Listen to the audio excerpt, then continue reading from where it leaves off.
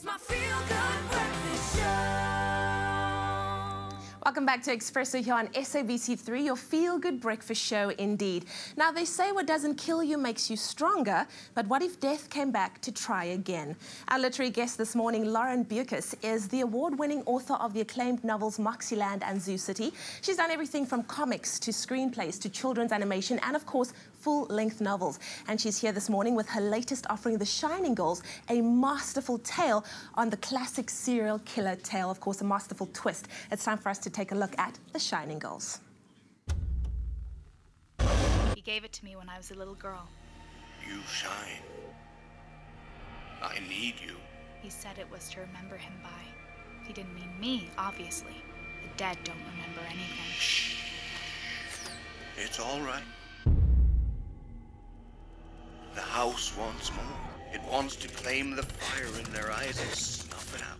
Girls get murdered all the time. It could be a father and son team. He might be 90 years old now. He might be dead. I'll find her.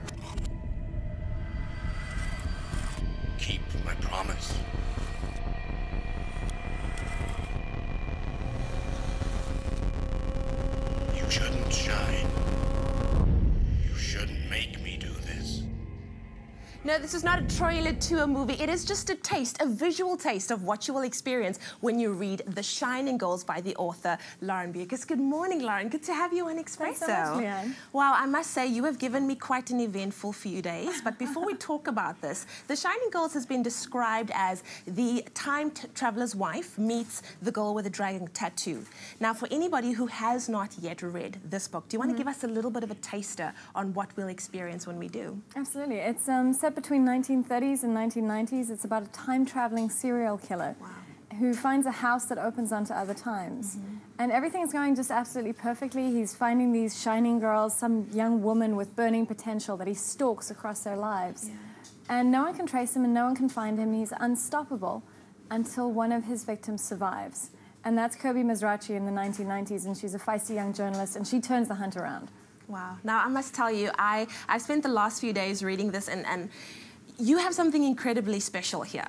Not only do you have an utterly original story with big ideas, but completely believable, a beautifully written novel. Um, I, I was just telling you before the break that this story, you almost wait to catch you out. Like, I want to catch the author out. Like, when is this not going to make sense? When am I going to say, you didn't get that right? But you absolutely do. How is it that this vision for the book came to life and, and for it to still make sense? I mean, we're talking about time travel, we're talking about a serial killer that is unstoppable. Where did it come from? You know, the idea just popped into my head while I was messing around on Twitter.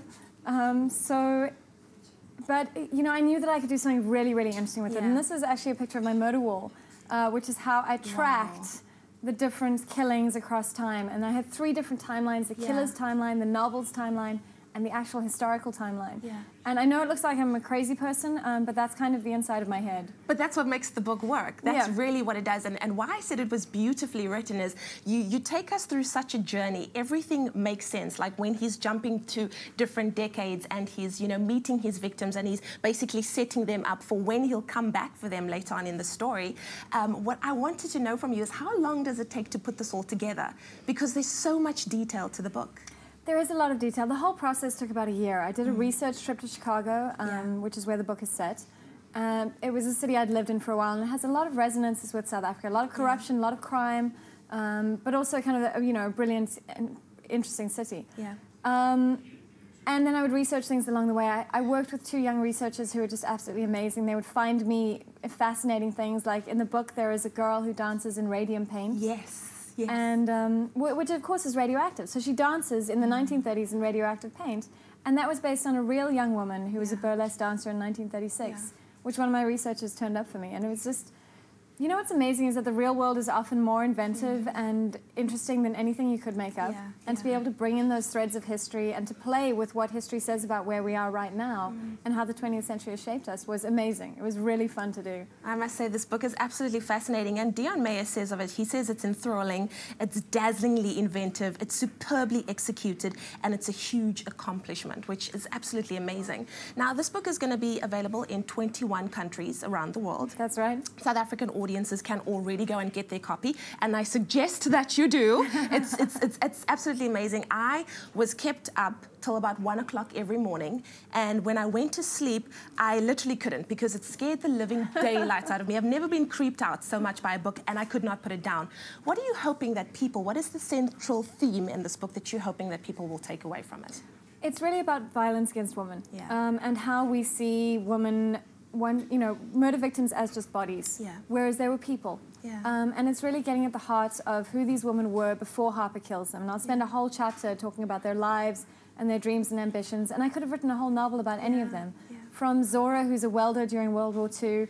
Through to um, Alice Templeton, who's a burlesque dancer in the 1940s, or Willie Rose, who's an architect under, under McCarthyism and the Yeah. commie scare in America. Well, I see uh, so many books can it can be like Twilight. So many different books can come from just this one because each storyline is so strong and so um, uh, moving. There were two particular, and I don't want to give it away, but there were two particular stories that I I sat in my bed um, on Saturday night, and I literally the book dropped. And I bawled my eyes out, and I'm like, Lauren, how could you do that to her?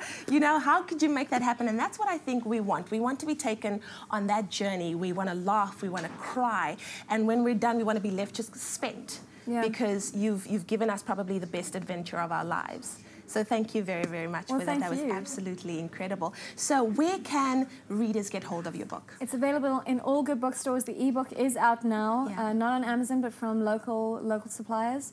Uh, the ebook is only 82 rand. The Okay. paperback is 180, and there's a limited edition hardcover. There are only a thousand of them in the country, and it's just absolutely beautiful. Wonderful, wonderful stuff. Question is, what does a writer do after delivering a masterpiece like this? what happens next? You feel terrible pressure to write something else that's even Yeah. better. I have to I have to deliver my next book by the end of the year. Yeah. Um, and but you know what? It's I'm, I get paid to write stuff. I get paid to make stuff up.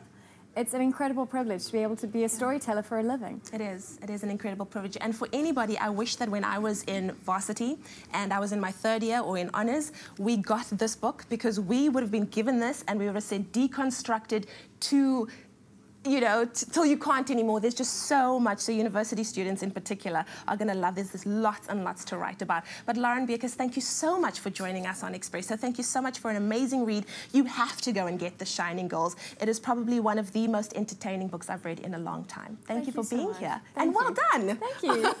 well, it is time for us to spice up our lives in the kitchen with Ewan and Chef Michael.